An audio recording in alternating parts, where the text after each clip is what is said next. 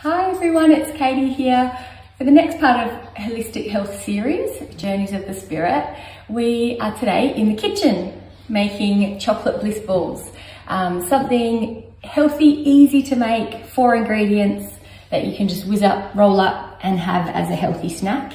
Um, lots of other benefits too because we're um, it's good for our mental health, emotional health, to be rolling things, to be mindful and using our hands.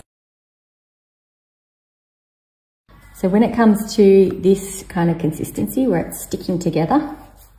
Okay, we're back, ready to roll our balls. Um, so to start with, we just take about a big tablespoon in the hand, give it a squish, bring it all together, and then start to roll.